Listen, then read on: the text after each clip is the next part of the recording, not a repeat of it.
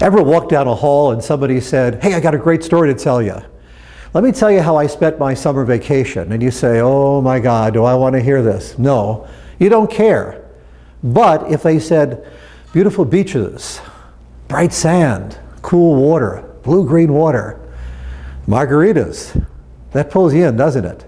So what's the difference between let me tell you how I spent my summer vacation versus the other approach? Well, one hooks the person because there's some benefit in it. You're engaging them. And that's a major point when you do webinars. You've got to start with a very important viewer benefit in the first sentence. Otherwise, you can lose people. They say, who cares? It doesn't affect me.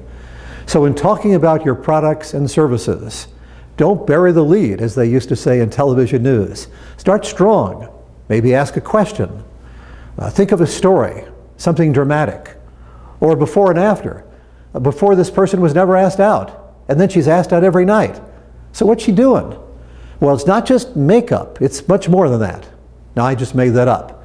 But that's an example. Your examples will be better because you're working in the trenches every day on it.